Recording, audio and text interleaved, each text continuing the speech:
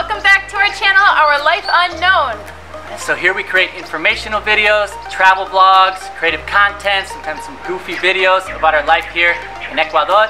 So be sure to subscribe click that bell so you get notified when we drop new videos. Alright, so it is a hot day today in Ecuador. Yeah, don't mind if I faint. Uh, hard to breathe, it's kind of humid, uh, so we might be drenched by the end of this video. Apologies, but uh, definitely better than what uh, our home state is getting hit with now, right? Snowstorms, snow. cold weather. Yeah. All right, so let's get into, let's see, what are some of the main reasons why we chose to move to Ecuador? Well, uh, obviously, I would say living by the beach and having this warm weather is really nice.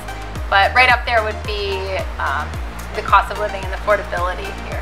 Yeah, cha-ching! All right, so that's probably definitely one of the reasons, if not the top reasons, why we chose uh, Ecuador over other countries. Yeah, it's been a huge draw for us because it's afforded for us to be able to live on less and spend more quality time with our family and pursue other passions that we have. Yeah, it's definitely given us uh, a different lifestyle, a lot more flexibility. Um, so in this Real Talk episode, Real talk. uh, we're going to get into the cost of living here in Ecuador, uh, from housing uh, to taxi rides. Yes, this way, please. Okay, to the airport. And all that stuff in between to give you a real picture of what it is to live here. And right off the top, uh, just so you're aware that Ecuador does use the U.S. currency, the U.S. dollar. So there's no need to worry about exchanging or the exchange rate or inflation, which is really nice. So Yeah, let's get into it. Vamos! First, let's break down housing costs. So we rent a four bedroom, four bathroom house that's fully furnished here on the coast in Ballenita. And we pay $750 a month. Yeah, you can check out a fun house tour we did up here at the link. Yes, you can even see Kevin in a thong or a Speedo. Oh, sexy!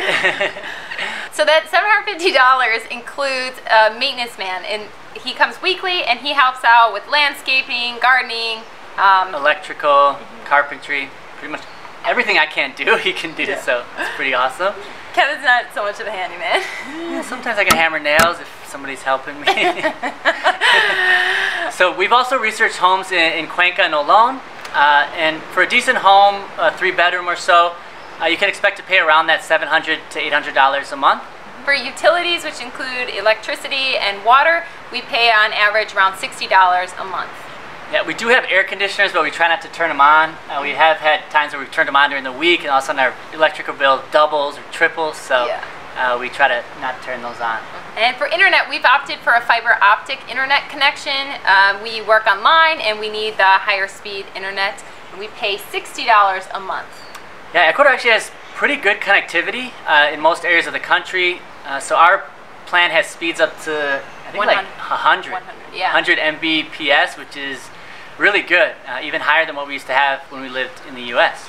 So and we don't have cable. Instead, we utilize Netflix and Disney Plus, all thanks to our family. Yeah, thanks fam. Thanks for the hookup. Our neighbors appreciate it. They all log in too. so at one point we did have DirecTV. Uh, we did cancel that. That was like 40 bucks a month. Uh, with all the streaming services, it just wasn't useful. need yeah, we didn't yeah. need it. So one thing to keep in mind is that streaming services like Hulu, Amazon Prime, uh, Disney Plus, any other US-based apps will not work in Ecuador unless you have a VPN. Uh, so we utilize uh, ExpressVPN, which is like 10 bucks a month, uh, but definitely worth it uh, to get all those services. And for cell phones, we, we brought our phones from the United States and they're unlocked. Kevin has an iPhone and I have a Samsung. iPhone, Apple all day. Oh, Still no. can't convince Claire to switch over. I don't know what she No. sees in I Samsung. think he gets so frustrated that I have the Samsung. I'm like, it's Let us know what you better. guys use. Is iPhone or Samsung? That's a debate. Please help me convince her. No. So quality cell phone brands are pricey here, so we recommend bringing one from the United States and making sure that it is unlocked. We pay for our cell phone service is $25 a month. Yeah, so it's actually pretty inexpensive, but what we do notice out here in Ecuador is that carriers don't offer unlimited data plans, or that would be like getting on the internet on your phone. Uh, so when you do run out of what they call datos, you have to go and like recharge uh, and pay more money so that you get back on the web. So kind of annoying, uh, but that's how it is, I guess. And I should just clarify one thing. It's not $25 in total, it's $25 each we pay for our cell phone service. Yeah. All right, so let's add up those living and housing costs, and boom, what is that, 930? Yeah. Not too bad. So let's talk grocery store costs or food costs. Uh, we mentioned in our previous cost of living video that we're not very frugal when it comes to buying food. Uh, you can check out that video here. Uh, we do like quality meats, uh, certain brand name stuff, uh, snacks. Uh, we're not on a strict diet either, although we do try to eat pretty healthy. Uh, so our grocery bill does tend to run a bit higher uh, compared to those who are on a more kind of plant-based, uh, stricter diet. this past year we have tried to budget a bit better, but I think it's still a little bit high. Yeah. Mm. Grocery stores are fairly similar to that of the US in that you can get most of the things that you need, but not necessarily the brands that you might want. Yeah, so, and any brand will be more expensive, so if you want like Kellogg's, uh, Pringles, or Doritos, those are gonna be a little bit pricier. Uh, in produce, we typically buy from local vendors. Uh, they circle our neighborhood pretty much daily. Mm -hmm. Right, they offer great quality uh, at a lower price, and you bought some today? Yeah, so like today I bought two carrots, a cucumber, tomato, and two oranges, all for $1. so really reasonable and really good. Mm-hmm. And then keep in mind that we are a family of four, so our food costs uh, include all of us, uh, plus our nanny. Uh, so our trips to the go grocery store, uh, excluding kind of baby care items, run about 500 per month. Cost for local produce costs around $50 a month. On occasion, we like to eat out at our local food spots, and we spend around $50 a month yeah, maybe like every other week we'll get something like a pizza or something good Ecuadorian type plate. And during quarantine, it was especially helpful uh, to be able to order in uh, and kind of have a nice, uh, nice meal. Mm-hmm. Yes. So let's add up all the food costs. All right, where we at? Boom, 600. Okay. So for those of with kids, let's talk childcare costs. So first we have a part-time nanny who comes uh, Monday through Friday from 1 to 5 and she watches our boys Leo who's 4 and Gabe who is 2 and we have a budget of around $250 a month. Yeah, we really appreciate all the family time we get abroad but we really enjoy also having a nanny. Uh, it frees up time for us to do our work uh, and maintain our home. Uh, we found that most nannies earn uh, around $20 a day uh, for childcare and in terms of schooling, Leo was enrolled in private bilingual school and we paid around $140 a month. Yeah, so Ecuador does offer uh, public schooling and many expats do utilize that or we've heard of others who do homeschooling. Brand name childcare products are pricier here, but there are plenty of off brands that are affordable. So for diapers, wipes, lotions, we probably spend $110 a month. Um, it would be cheaper if Kevin would stop using wipes. hey, what can I say? I like a, a clean behind. Good. So uh, toys and clothes are for children are more expensive here, so we try to always stock up when we are back in the States. Yeah, especially uh, name brand toys like uh, Lego, Barbie, mm -hmm. Play-Doh. Uh, you're gonna pay a lot more for that stuff here. Uh, I remember I bought Leo like a transformer, mm-hmm. what I uh-huh. thought was a transformer, and it ended up being a reformer. Uh, so sometimes you do get kind of these knockoff brands that look really good. Um, just be careful of that too. Uh-huh. So let's add up the childcare costs. So. Boom! Was that 500? 500? Okay. So next up is healthcare costs. Uh, in Ecuador, they do have free public health. Uh, we've utilized it for minor issues, vaccines for our kids. Uh, even our family has utilized it while they were visiting us. Yes. Kevin's brother, he became ill when he was here, and he ended up uh, requiring a four-day stay at the hospital, and his cost was zero dollars. Yeah, so he was fortunate, so he didn't end up paying anything out of pocket.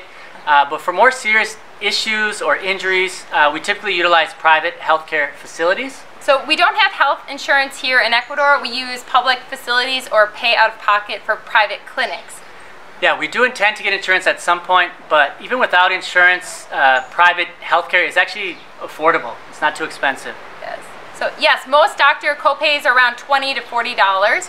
And I delivered Gabe here via C-section and at a top-notch healthcare facility, and we paid around $3,000 for the delivery.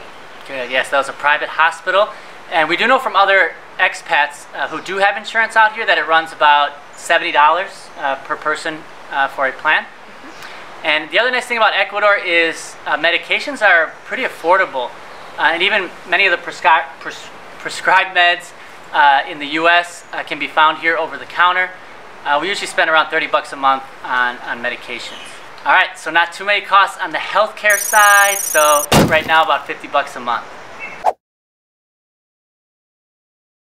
Okay, so let's get into discretionary costs. So we don't own a car and we travel by bus or by taxi. Um, it's easy and affordable. Yeah, cars are overpriced uh, in Ecuador, especially the top brands like Ford, uh, GM, Chevy. Uh, it's because importing cars uh, come with high tariffs and fees. Uh, so, so for us, uh, it's not really worth it to, to pay that extra cost. hair care, so a regular haircut here is usually around 10 bucks. for women, a cut and color will run around $50. Claire, since quarantine, has been cutting my hair and the kids. She does a pretty good job. Only one bald spot. yeah, one time in the back, you got me here. It was kind of cool, but not really my style. yes, and so yeah, I go to the hair salon maybe every few months um, to get like a cut and color. Um, all right, and we barely buy clothes here uh, just because brand names are a little bit more expensive, so we try to stock up when we are back in the States. Yeah, or when guests come to visit, we usually have them bring a suitcase uh, with items for us. Uh, same thing with electronics. Uh, you're going to pay sometimes two to three times more for things like uh, name brand cameras and computers. Uh, again, because of the import fees uh, that they tack on uh, upon entry. Oh, how I miss Amazon and Target. Yes. Yeah, we really wish we had an affordable online option here. Uh-huh. Um, we're definitely, it's one of those conveniences you don't think about, but it definitely impacts your buying uh, power out here yeah. uh, with not being able to utilize those. But maybe it's for the better. We don't buy as much. Yeah, yeah that is true. Uh, so we usually try to get out once a week, uh, whether that's going to like a restaurant, to the mall. Uh, we like to travel to the nearby cities uh, with the kids. And for other general costs to consider are skilled labor. So like to have a landscaper, electrician, maintenance guy, that is around $30 a day. Yeah, and the nice thing is usually you can find one guy who does all that. Like he, he knows how to landscape, uh, electrical, and uh, carpentry even sometimes. Uh, in terms of transportation, uh, taxis are pretty inexpensive, around two to three dollars. Can get you to any nearby places. Uh, buses as well are very inexpensive, uh, less than a dollar usually. Uh, longer trips, uh, let's say two hours or so, can be around fifty dollars. And we've also hired private drivers for the day, and we want when we want to hit up kind of different spots on the coast uh, and that was around I think forty dollars. Yeah. And to have like a house cleaning lady or a maid service come, it's around twenty dollars a day. All right, total discretionary. Where are we at? Two hundred and fifty dollars. Okay. So all in monthly cost, we are at two thousand three hundred and fifty dollars. Okay, so obviously we are a family of four, and so you would need to adjust based on your needs and lifestyle. Yeah, definitely. So if you have no kids, uh, if you eat a more plant-based diet, live in a rural town, uh, your budget would be less than ours. Uh, we are foodies, we like certain brands. We like our wine. Our wine, we have kids, and we also like traveling a bit. So just make sure you consider that when determining your cost of living. All right, so hopefully this video provided you useful insight into the cost of living in Ecuador. So if you have additional questions, please uh, drop us a comment and we'd be happy to connect.